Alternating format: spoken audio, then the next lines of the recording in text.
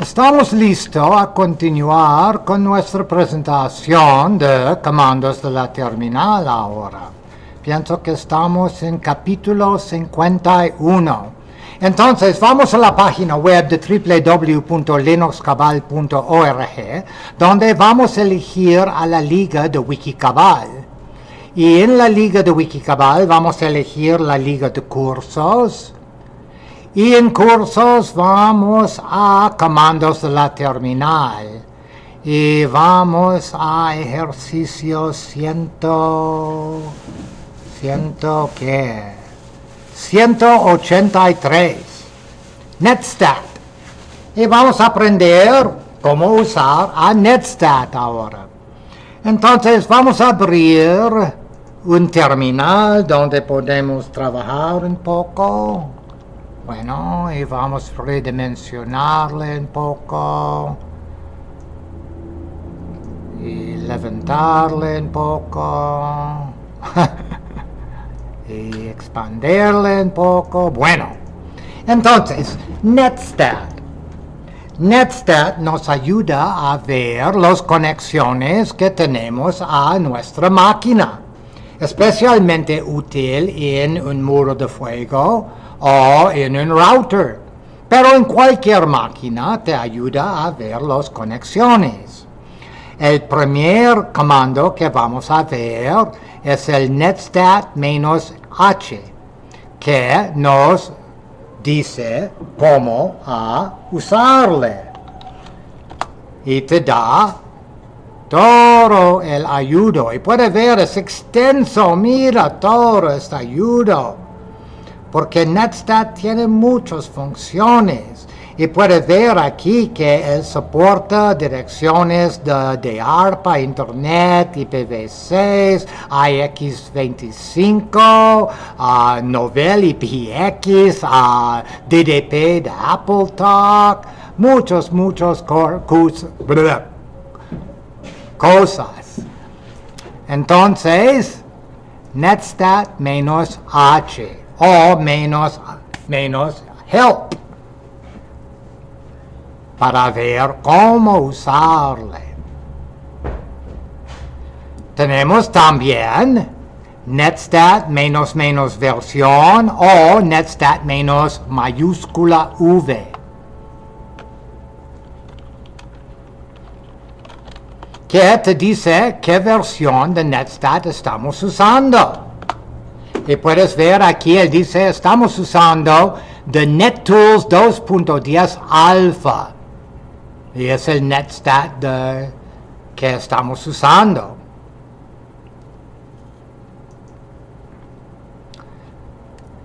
Tenemos netstat menos menos route o netstat menos R, que nos muestra los rutas, rutas rutas que tenemos. Entonces, si vamos a ver si, oh, ok.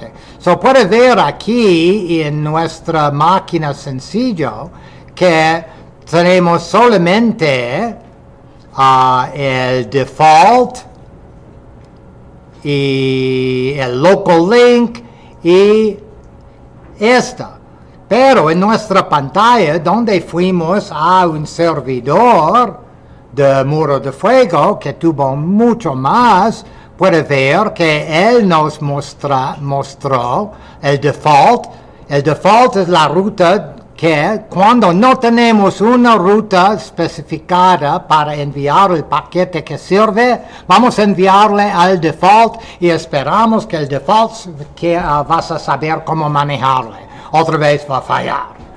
Uh, tenemos Ah, puede ver aquí tenemos otra red y tenemos otra red. Este servidor tiene muchas diferentes redes. Y puede ver que son cada uno sobre un enlace diferente. ENO0 por una red, ENO3, ENO2, ENO4.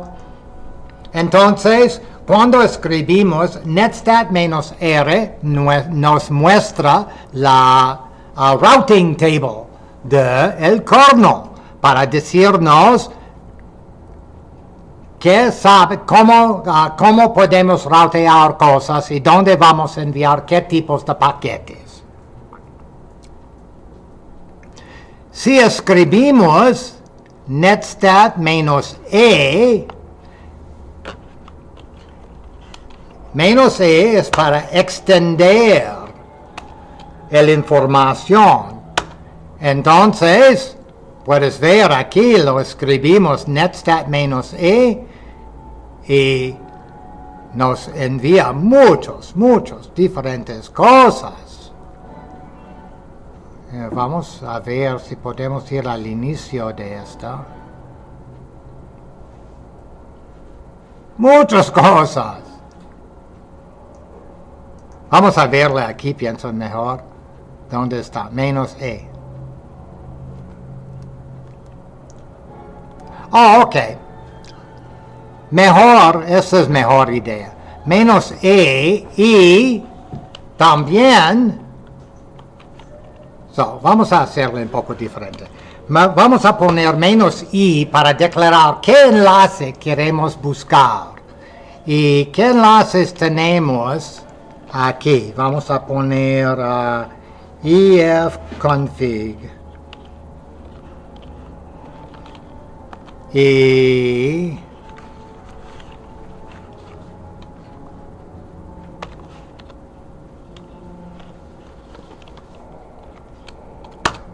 y podemos ver que tenemos solamente un enlace aquí que se llama np63s0. Si queremos verle con netstat, podemos poner menos i mayúscula por el interface enlace a enp63 S0, pienso. Y nos dice que algo fue mal. Probablemente escribí el nombre. NP63S0. ¿Qué escribí? E O. Sí, pendejo al teclado. ENP. Bueno. Menos INP 63S0. Con en minúscula I.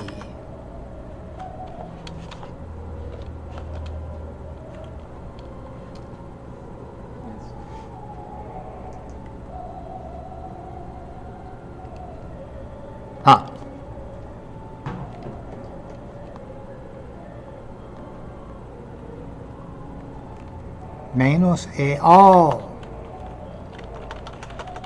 Con el igual. Ok. Mejor. Pienso. Sí. Ok. Disculpa. Ok. So, otra vez vamos a...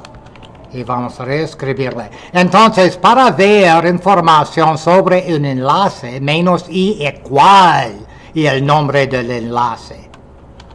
Y puedes ver aquí nos da información, el nombre del enlace, el MTU, Ethernet tiene en MTU en 1500 si no declaramos jumbo packets o algo. El número de paquetes recibidos, ok.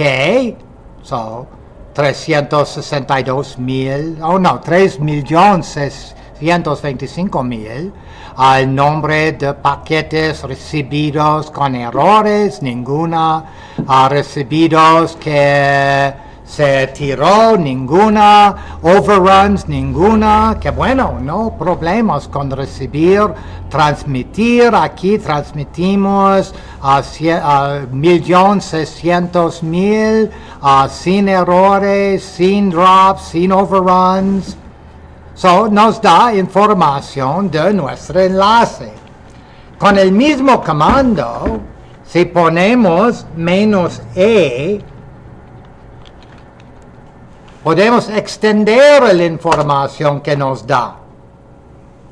Entonces, aquí nos da la misma información que anteriormente. Ups, aquí, disculpa.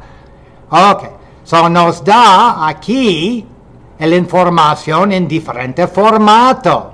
Tenemos nuestros flags, tenemos nuestra MTU, nuestra dirección de IPv4, nuestra máscara, nuestro broadcast, uh, nos da nuestra dirección de IPv6, nos da mucho más información, más el número de paquetes transmitidos con overruns, colisiones recibidos en el mismo formato de ifconfig, pero con extender la información del enlace que especificamos. Netstat menos E menos mayúscula I.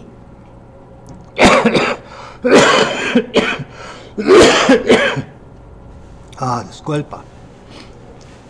Podemos usar Netscape a ver nuestros enlaces. Mejor clear first. Okay. So, si escribimos Netscape menos minúscula i, él nos dice que en este enlace nos da la información de paquetes transmitidos con y sin errores y recibidos con y sin errores. Y el otro enlace que tenemos en este compu, LO, localhost. Cada uno de los compus en el mundo que están participando en IP, TCP/IP, tiene localhost. Es un enlace, es virtual, pero es real, sirve Puedes ver aquí cuando estuvimos en el sistema de, que tuvo más, él nos muestra todos los enlaces EN0, 1, 2, 3 y LO. So, menos I te muestra un poco de información sobre cada uno de los enlaces. Y si decimos menos IE, él va a extenderle en esta manera, que es casi lo mismo que vimos cuando usamos a ifconfig. So menos i o menos ie para extender la información de los enlaces. Y puedes ver aquí cuando le puse este uh, comando en nuestro uh, sistema con muchos diferentes enlaces que nos da mucho más información de cada enlace. Podemos solicitar estadísticas con menos S y con menos S, mira, todas las estadísticas que nos da, es increíble. Mira, mira, mira. So, él dice que el número de paquetes recibidos, uno de los, ¿cuántos está? De los 3.279.000 paquetes, solo uno tuve una uh, dirección inválida. Uh, tuvimos paquetes recibidos, paquetes enviados, 44 no tuvo ruta.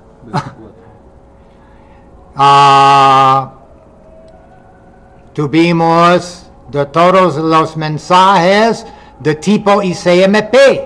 ICMP son paquetes como ping, es un paquete de ICMP, Internet Control Message Protocol, ICMP. Y puede ver que de los 3 millones, 3 mil fue de ICMP. Ah, y de ICMP Message uh, fue la mayor, fue todos de los 3 ah, mil.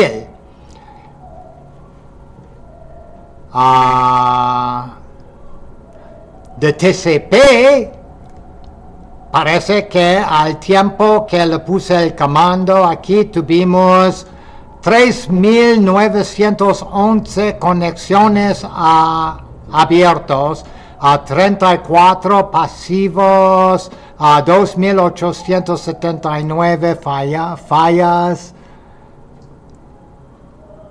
De UDP nos da información, de UDP Light, de TCP extendido, mucha información estadísticas. Por el tiempo, por el uptime de tu sistema. Entonces, puede usar Netstat con menos S para ver si tenemos problemas con el enlace y en qué tipo de problemas.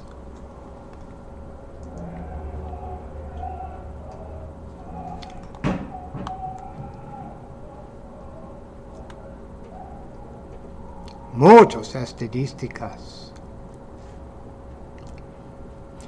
Normalmente cuando da el comando netstat, le da con la bandera menos n para decirle no resolver direcciones a nombres, porque tarda mucho, puede tardar mucho porque es uh, una query a DNS para cada uno. A ver, y entonces normalmente decimos solamente netstat menos n, que dice, ok, dame toda la información, pero cuando la información tiene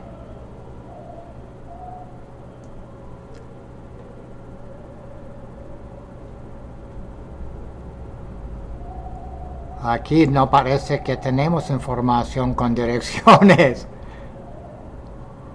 Son todos streams. Uh, no, no hay. Ok, pero uh, puede ver aquí en este sistema donde tuvimos mucha actividad que nos da solamente la dirección y el puerto. Dirección y puerto, dirección y puerto. Y esta es mucho mejor otra vez con el sistema de esta. Mira todas las direcciones que fue necesario resolver por nombres. Va a tardar un poco. Y si no tenemos interés en los nombres, menos mejor decir menos n. Solamente muéstrame las direcciones. Y si tengo interés en uno o dos de las direcciones, puedo solicitar la información más tarde menos n para no resolver direcciones a nombres. Pero si queremos resolver direcciones a nombres, podemos usar menos mayúscula n. yo no sé si tenemos, vamos a ver. Yo no pienso que tenemos aquí porque no es router.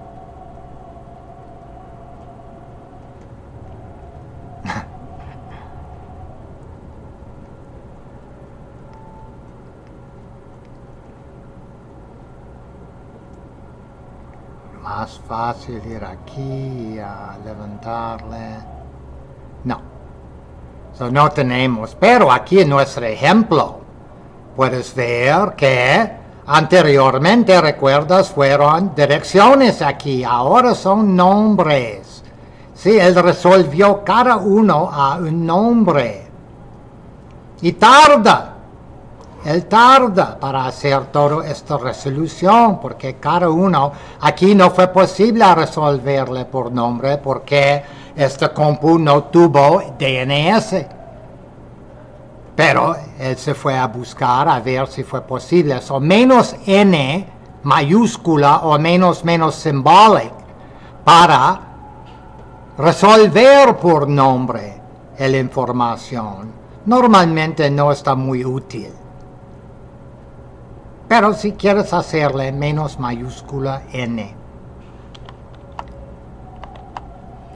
Podemos usar uno que se llama netstate menos o para ver timers.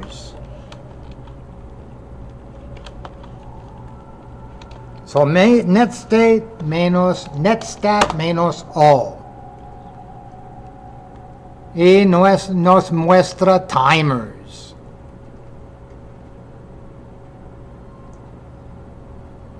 So, vamos al aquí, ok, so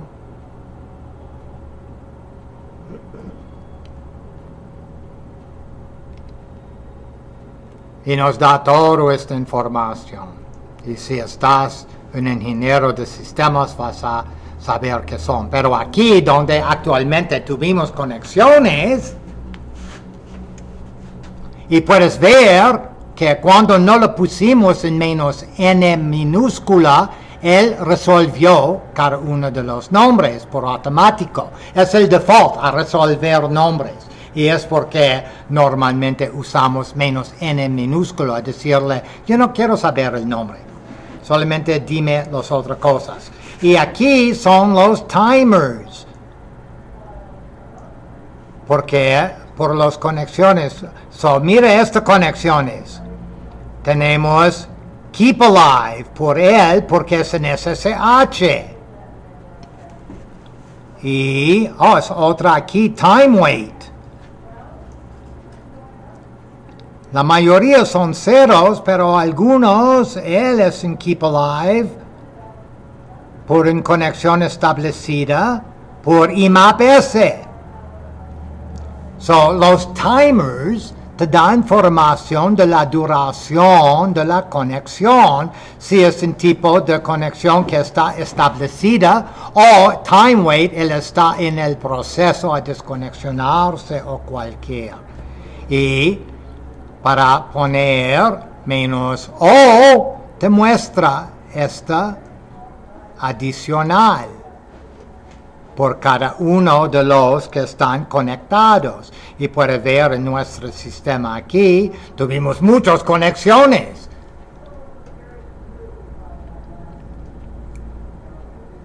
So timers.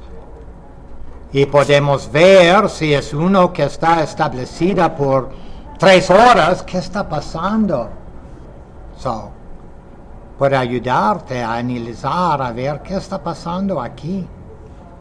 Si queremos ver la lista de listeners, un listener es un servicio que está esperando por una uh, petición. Uh, un listener de DNS tal vez está uh, esperando por una petición a resolver un nombre. O un listener de IMAP está esperando por una petición a recoger correo diferentes listeners que tenemos en el sistema.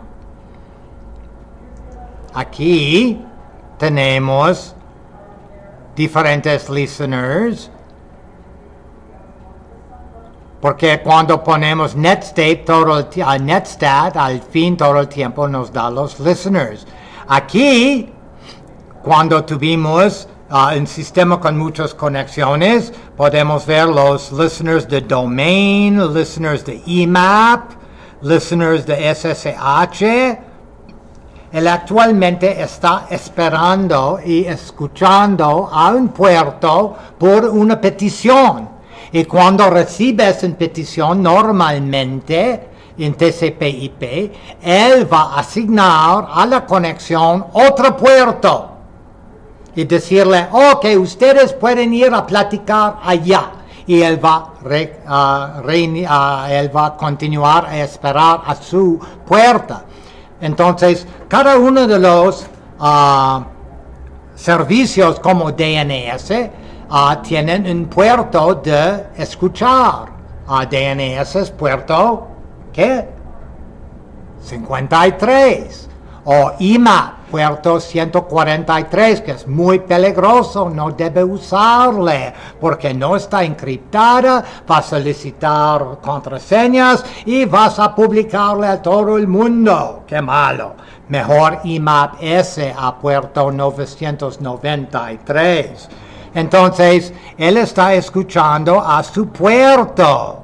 Y cuando recibes una petición, él va a negociar otro puerto arriba de los primeros 1024 well-known ports, que no está en uso al momento, para los sistemas, para el servicio y el sistema a negociar cualquiera ellos quieren negociar, y él va a continuar a esperar a su puerto.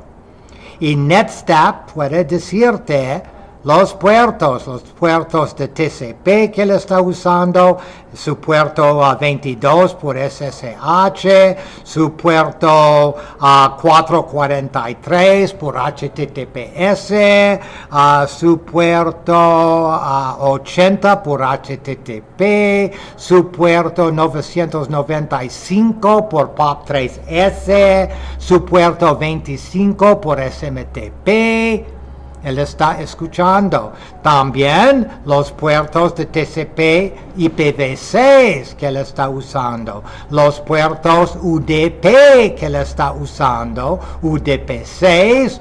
Los puertos RAW como ICMP que está escuchando. Entonces, para ver los listeners, menos L o menos menos listening. Y nos da la información de ellos. Podemos agregar diferentes. Por ejemplo, si ponemos netstat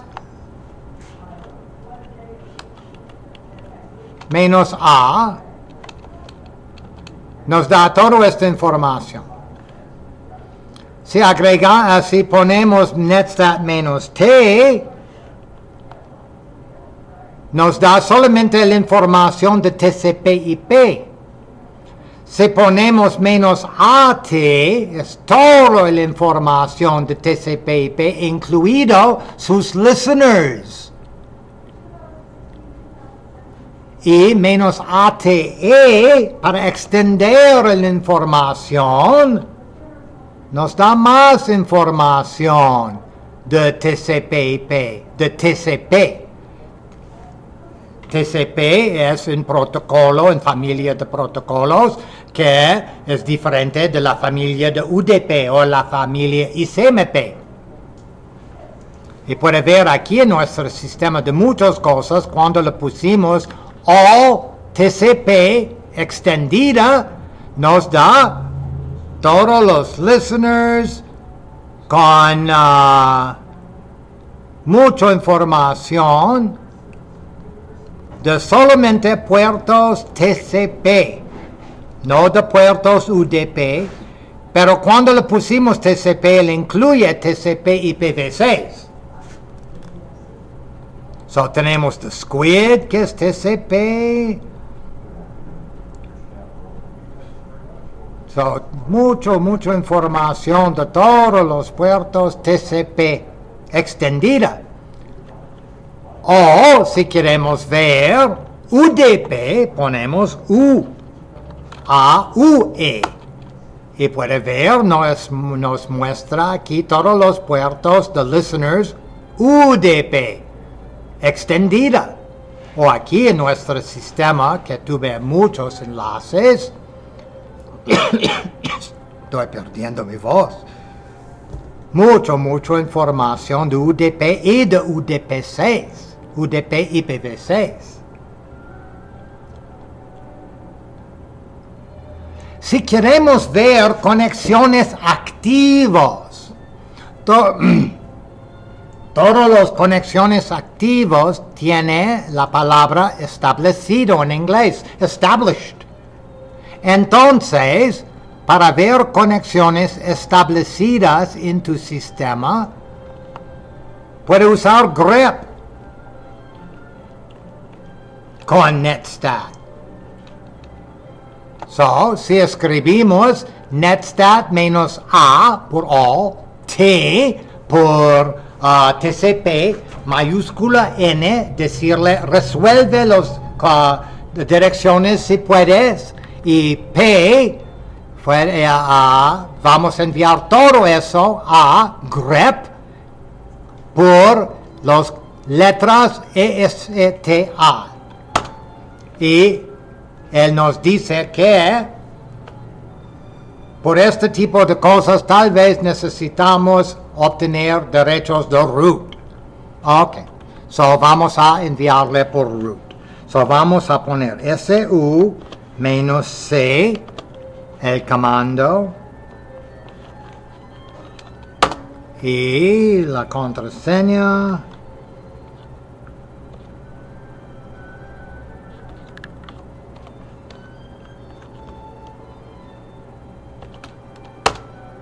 Y parece que no tenemos en este sistema, porque es un end system. Pero en este sistema donde tuvimos la conexión, puede ver que cuando le pregunté por todos los get establish, mira aquí, establish, establish, establish, él nos muestra todas las conexiones. Entonces tuvimos esta conexión de avas.com por HTTP, de...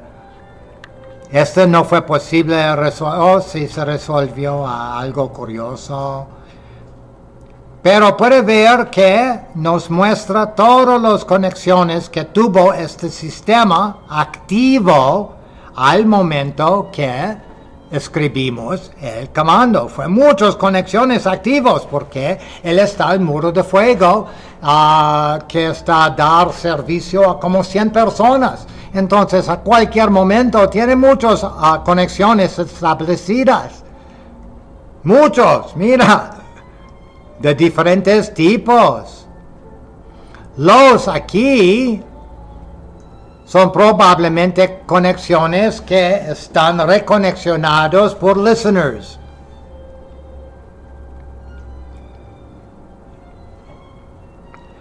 Entonces son algunas de las cosas que podemos ver con Netstat. Y en este uh, curso particular usamos Netstat sobre TCP/IP. Pero vimos que Netstat puede usarle con otros protocolos. Pero ahora muchos de los protocolos no están en uso más. IPX se murió ah, con uh, ¿qué? Uh, Novel 5. Novel 6 es totalmente IPv6. disculpa, TCP/IP, no usa IP, IPX, SPX más. Apple Talk se murió también. Ahora Apple es, ¿qué? System X todo TCP/IP, todo el mundo está cambiándose a TCP/IP. y AX25, que es un uh, protocolo viejito en modems que fue muy popular en Europa. Pero Netstat sirve con estos también. Netstat es muy útil y recuerdas cuando escribimos Netstat menos H, que se usa por muchas cosas. Mires algo aquí para ver ese Linux Security Context. Si estamos usando ese Linux, podemos ver el cache. Podemos, oh, uno que puede ser bueno es continuous.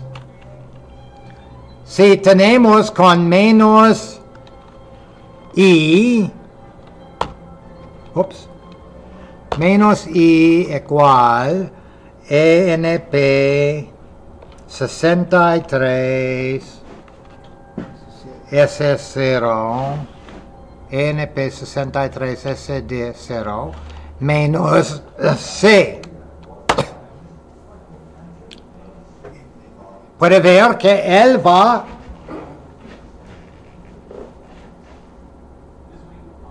continuar, él va a continuarse, entonces vamos a ver incrementaciones, porque él va a mostrar continuamente y con él podemos darle un incremento de tiempo para continuar cada 6 segundos, cada minuto, cada 30 segundos, cualquier. Son muchas otras cosas que podemos hacer con NetStat mostramos en este curso los más populares en nuestra opinión y espero que van a ayudarte. Preguntas a NetStat. Muy bueno para examinar el estado de las conexiones en tu sistema. Sirve mejor o te da más información interesante en routers como a muros de fuegos con IPv, IP tables o cualquier, pero puede darte cosas y en tu sistema local también. Pero Preguntas.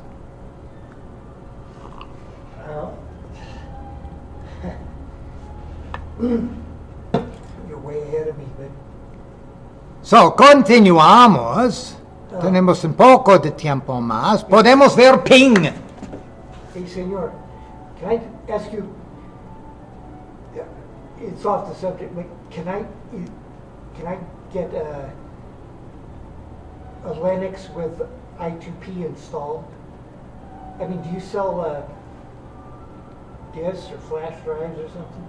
So I Ah, can get it po- installed? podemos, uh, we, we can address that in about 15 minutes. Go ahead, go ahead. Entonces, vamos a continuar con, con ping. So, me preguntas, ping, ¿cuál es a, qué, cuál es a, con- conocer con ping? Todos conocen ping. Pero pienso que tal vez son cosas de ping que no conoces, que son útiles. Vamos a ver. So, vamos aquí a ping.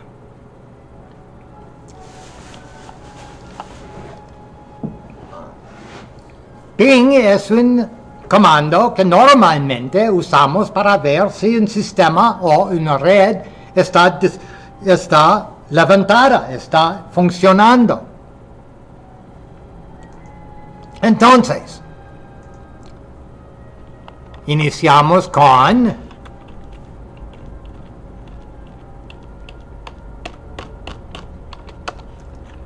ping menos h. Y ping menos h, tal vez vas a, sorpre- a darte una pequeña sorpresa, muy, muchas diferentes cosas, mira. Es más complicado que pensamos tal vez. Pero ping menos h para recordarte cómo usarle. O solamente ping sin parámetro. También. Si le pongamos menos menos help, él va después de decirte que no conoces qué estás diciendo, mostrarte, si él dice aquí, ¿ah? ¿Qué? No conozco menos menos, ¿cuál es esta extra menos? Y después te da el cómo usarle. So. So, ping menos h para recordar, o solamente ping, para recordarnos cómo usarle.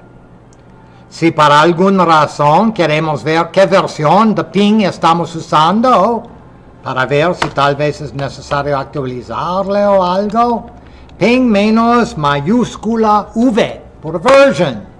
Y él nos dice que estamos usando ping utility IP utils ah, en la versión 2012, diciembre 21. So, parece que ellos no están ah, cambiando ping mucho. Probablemente no tienen mucha razón a cambiarle. Podemos usar ping con aquí para decirle enviar un ping cada algunos segundos a un sistema. Normalmente él va enviarle, yo no sé, a cualquier tiempo, pero podemos decir, por ejemplo, a ping. Oh, a escribir esto, ok.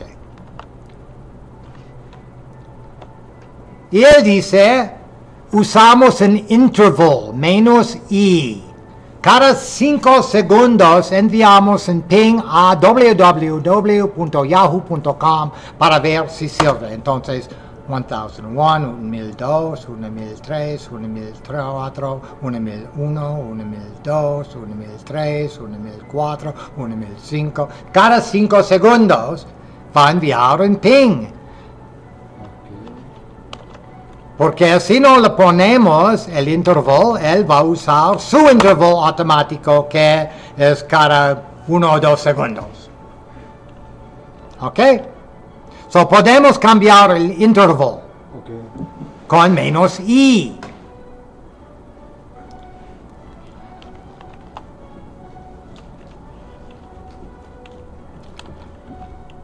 Muchas veces, antes de ver si nuestro enlace está sirviendo, debemos ver si la red en general está sirviendo, la red de TCP/IP.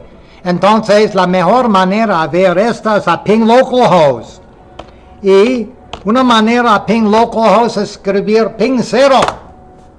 Y él está ping localhost.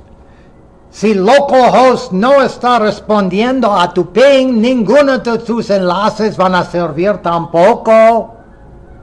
Entonces, sabemos que debemos checar si localhost está sirviendo antes de ver si un enlace específico está sirviendo también.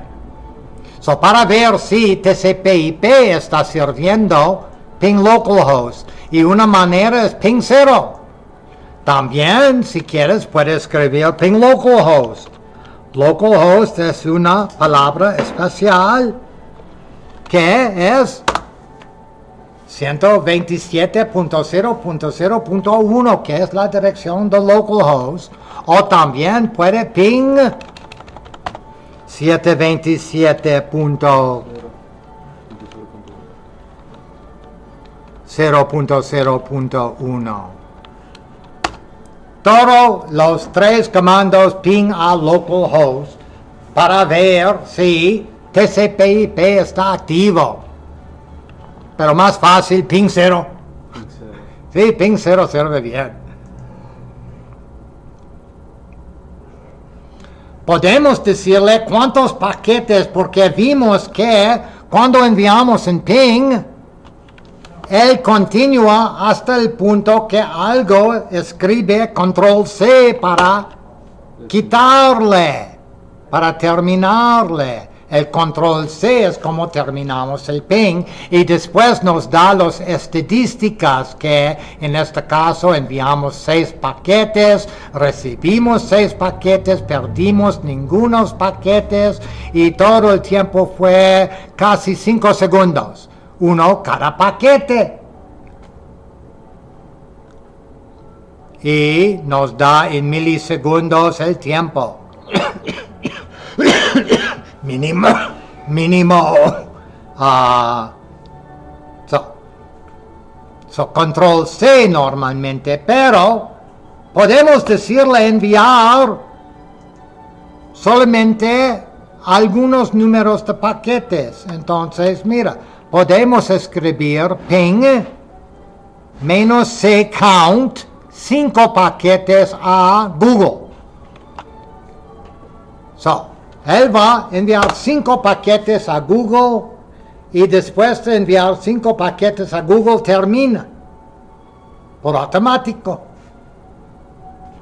Puedes también cambiar el intervalo. Menos i 5. So, un paquete, dos paquetes, tres paquetes, cuatro paquetes y uno más y debe terminarse. Ya.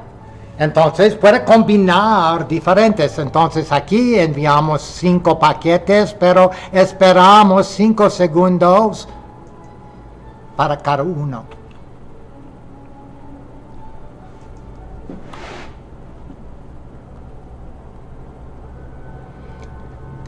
Para resolver el nombre de en dirección de un sistema, una manera muy fácil a resolver el nombre de un sistema es enviar un paquete para ping el sistema. So, mira, vamos a ping, ping, menos, uh, ping, menos C1 vamos a enviar un paquete a mirden.imat.com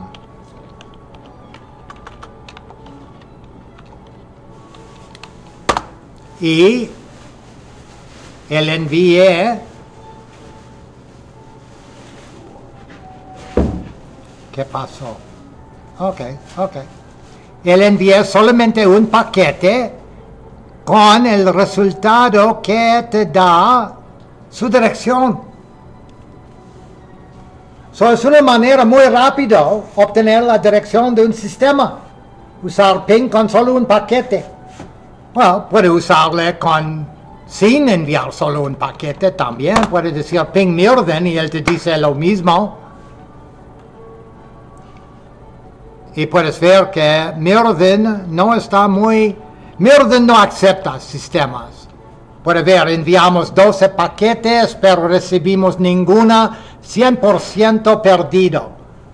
Es porque Mirden tiene en su IP tablets no aceptar ICMP. Porque no queremos ping floods. Entonces Mirden está configurado no a responder a ping. Pero al mismo tiempo nos dice que lo envié a Mirden, la dirección de Mirden, que es correcto, es él. Pero Mirden no respondió. Él no tuvo interés. No tiene respuesta. No, él no respondió. So, s- ping puede usarse para obtener una dirección por un sistema. Si ping menos 1 a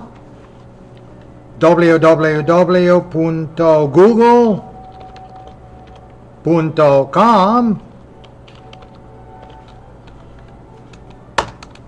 Nos dan dirección a 247, 29, 29, 29, 59. Puedes ver, son muchas diferentes máquinas que están escuchando a Google. Entonces, él nos dice, ¿a quién máquina enviamos el ping esta vez? Porque Google es más de solamente una máquina. Google es una granja de muchas máquinas. Y estaba escuchando que ellos van a cambiarle a, ¿cómo se llaman los pequeñitos? Ah, open, open hardware. Pero.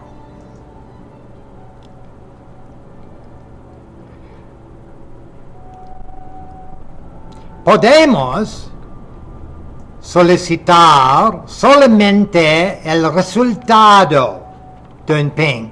Vimos aquí que cada vez que enviamos el ping, él nos muestra ah, información.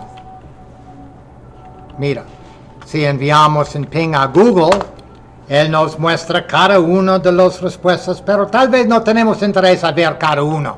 Tal vez queremos solamente esta parte al fin de cuentas donde nos da la, el resumen, el resumen de los ah, diferentes cosas. Y podemos solicitar esta. No, no, no. Para escribir ping y podemos si queremos enviar, o voy a enviar cinco paquetes. No. No. Podemos enviar cinco paquetes a o podemos enviarle a www.yahoo.com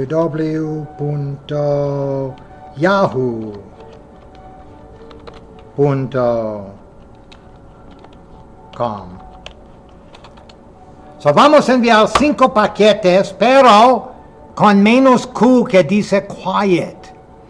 Y entonces él va a enviar los cinco paquetes sin este tipo de ruido y solamente darnos la resumen.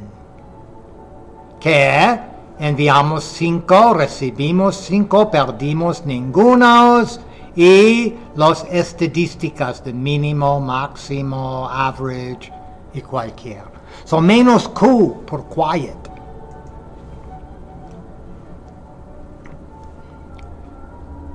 Puede solicitar un flood.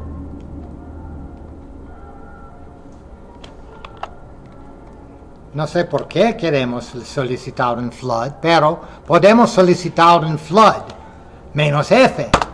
Pero él va a decirte, disculpa, pero un usuario normal no puede usar un intervalo menos de 200 milisegundos. Porque él está ah, él tiene él no quiere que usuarios normales puedan usar tu sistema para atacar otros sistemas con denial of service con ping. Pero root puede. Si decimos SU menos C, este comando, ups,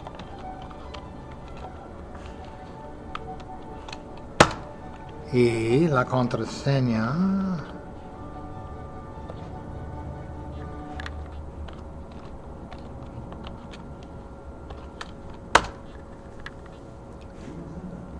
So, vamos a quitarle.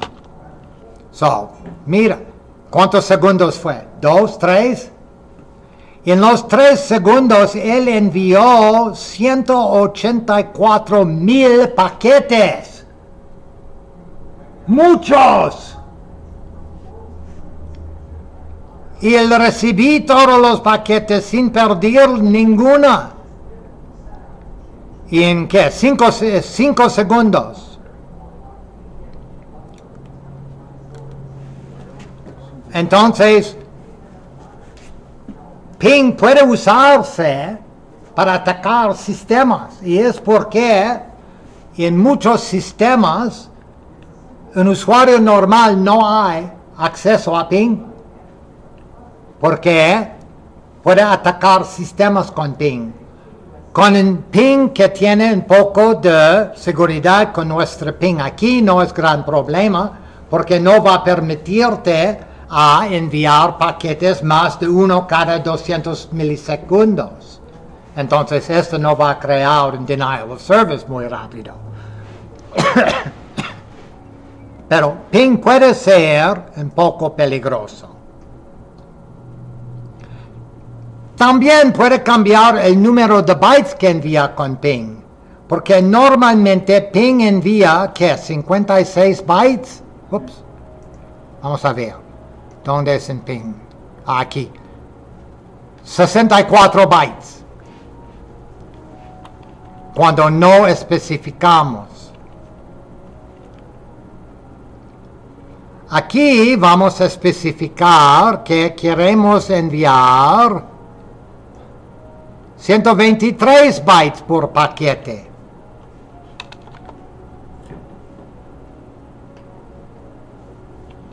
A Yahoo. Y vamos a enviar 5 paquetes. So 1, 2, 3, 4, 5. Y puedes ver que él envió 131 bytes cada uno. Porque parece que 123 bytes no, no cabe bien con él. Ah, vamos a cambiar el número un poco a 3. Ok. 321 bytes. Ups. Y también puede ver que el número, número no cabe bien. Él va a cambiarle al número muy cercano que especificamos que cabe bien. O si queremos 32.000 a 300, 32.000, 132, 3 bytes. Y